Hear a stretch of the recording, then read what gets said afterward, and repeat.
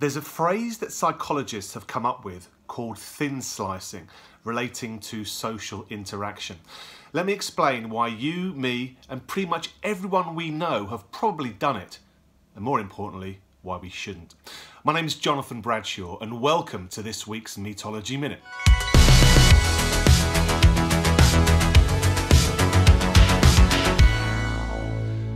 Yes, hello, wherever you are in the world, from me here in the centre of Prague this week, where I'm speaking on meetology tomorrow. Now, thin slicing, what is it? Well, as I said, it's something I'm almost 100% sure that you've done. Certainly I have. It's quite common human nature. We need to avoid it. Here's what it is and here's why. Thin slicing is where we look at someone or hear about them and make a judgment, negative one probably, based on very limited information. You might hear someone's accent and they're from a part of the country you don't particularly think is great. So you think, oh, they must be like this, and maybe add and expect them to behave in a negative way. Uh, it might be the way they're dressed.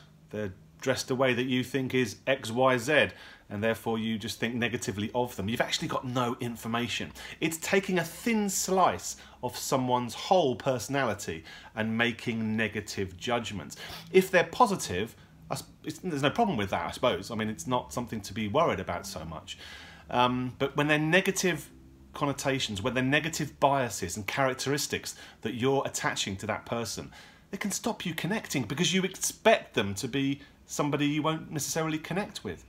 Do you remember, and I'm showing my age now, in the film Pretty Woman, 1990s film with Julia Roberts and Richard Gere, she goes, Julie Roberts' character goes into, I think this was Beverly Hills, a, a high end boutique shop.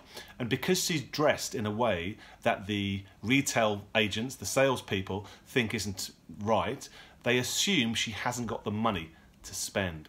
And of course, later on, she comes back and she's got plenty of money and she can actually buy the stuff on offer. At that point, they could have lost their sale because they didn't actually trust somebody. They trusted their own judgment, which actually was completely wrong.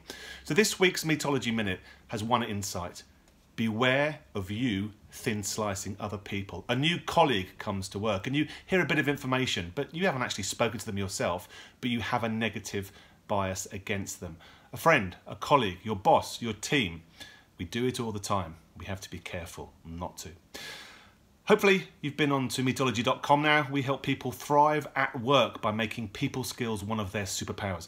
If you own a business, do get in touch about our training and speaking uh, about this fascinating subject. It's something that your team need to learn more about. I'll be back in a week's time with some more meetology, the science powering world-class people skills. From Prague, have a good week. Take care. Bye-bye.